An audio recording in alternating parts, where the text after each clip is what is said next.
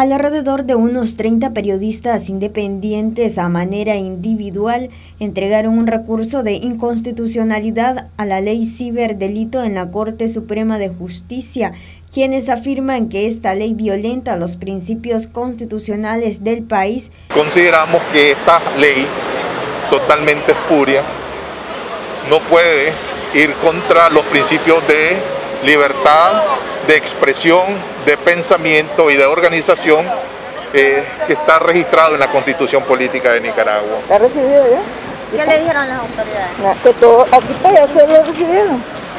No dijeron absolutamente nada, pero se portaron cordiales. A título individual que venimos porque sabemos que es un derecho que tenemos como ciudadanos, ciudadanas. Eso, eso también le hemos dicho al pueblo nicaragüense, o sea, con nuestras coberturas, le hemos comentado cuál es la diferencia entre ejercer el derecho y cuál es aquel momento en que se te prohíbe también el derecho.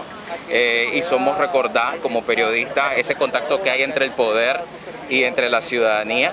Entonces intentamos tener siempre las partes para que la ciudadanía pueda tenerlo. En este caso a título individual venimos como periodistas, sabemos de que estamos en tiempos difíciles, en donde muchos colegas hemos eh, perdido el trabajo, muchos colegas hemos tratado de innovar, estamos haciendo uso hoy en día del tema de las redes sociales, de todas aquellas herramientas eh, digitales también.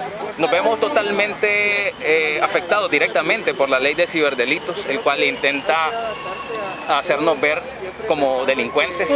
Y eso no es eh, lo, que hacemos como periodistas, tenemos una razón social de hacer nuestro, nuestro trabajo, por tanto al vernos afectados directamente por esto que te menciono, esa relación que hay entre la nueva forma de hacer periodismo a través de redes sociales, a través de nuestros espacios digitales, abre el espacio a, a que te puedan culpar de cualquier cosa. Defensores del pueblo brindaron acompañamiento a los comunicadores al momento de interponer dicho recurso. Acordate que el periodismo es una profesión que está consagrada en la constitución política y que te deja claramente que los medios de comunicación juegan un papel eh, de información y de carácter social.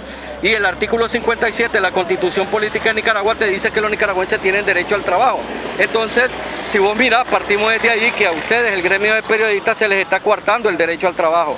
Es decir, ustedes como nicaragüenses están tutelados y protegidos por el artículo 46 de la Constitución Política que habla que Nicaragua es firmante de muchos tratados internacionales. Noticias 12 Darlene.